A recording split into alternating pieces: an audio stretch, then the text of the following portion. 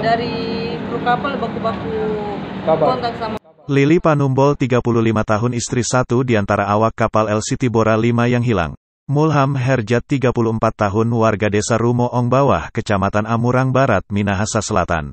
Mendatangi kantor Kesyah Bandaran Otoritas Pelabuhan Bitung. Selasa 23 Januari 2024. Lili Panumbol datangi Kesyah Bandaran Otoritas Pelabuhan Bitung. Untuk berkoordinasi dengan pihak petugas KSOP Bitung.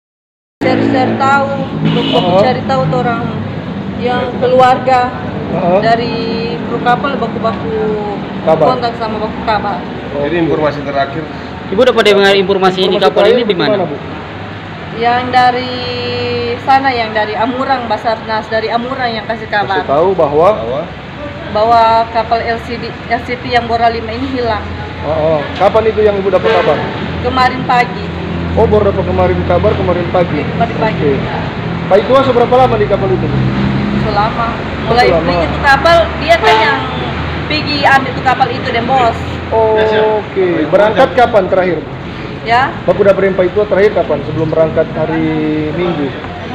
anak gue ya tak boleh di postingan Iya. dulu Oh. tapi lagi di Bapak postingan dapat terakhir kan? Kan dia informasi kapal itu berangkat hari Minggu dari Bitung. 6 Januari 6 Januari Iya, 6 terakhir nah, tuh Enam. Ibu udah antar kemari?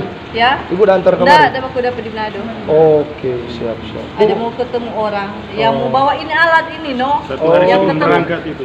Ya, Satu mau ketemu orang. berangkat. Hmm. Lili Panumbol yang mendatangi Kesyah Bandaran dan Otoritas Pelabuhan Bitung sejak pagi berharap suaminya kembali dengan selamat.